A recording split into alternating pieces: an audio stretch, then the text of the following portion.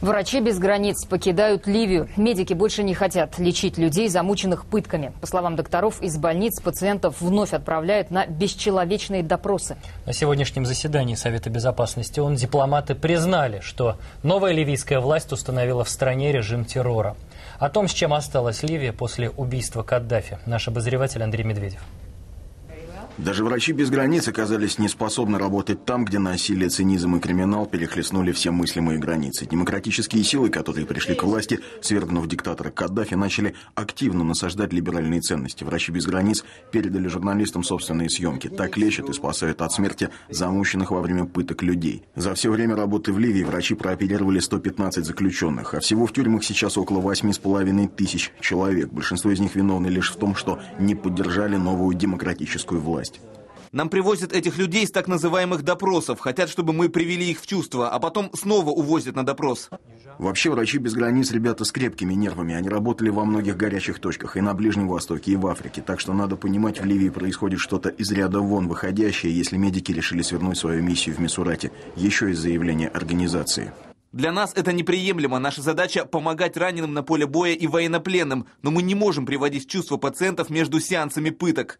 Происходящее в новой демократической Ливии проще всего описать в нескольких словах. Махновщина и бандитская вольница. Переходный национальный совет ситуацию в стране не контролирует. Банды воюют друг с другом и с правительственными частями, точнее с теми бандами, которые выступают на стороне правительства. Всю последнюю неделю тяжелая обстановка складывалась вокруг города Бани-Валид, который якобы захватили сторонники Каддафи. На самом деле, точнее будет сформулировать так.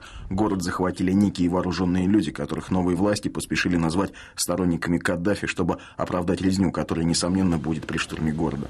При этом старейшины Банивалида уже заявили, что формируют собственное правительство и отказываются подчиняться Триполи. Стотысячный Банивалид считается неофициальной столицей бедуинского племени Варфала, которое до последнего времени поддерживало бывшего диктатора.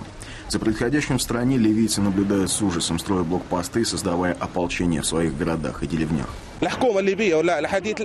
Наши власти не сделали ничего, чтобы нам спокойнее жилось. Все мы тут волонтеры. Власти там что-то решают между собой, а до нас им как бы и нет дела. Тут еще и непонятно, что такое новая власть, если она вообще в Ливии не формально, а по-настоящему. Совет Безопасности ООН ситуацию в стране обсуждал весьма бурно. Верховный комиссар ООН по правам человека Нави Пиллой представила информацию о том, что банды и полевые командиры имеют десятки собственных тюрем, где без суда и следствия сидят тысячи людей.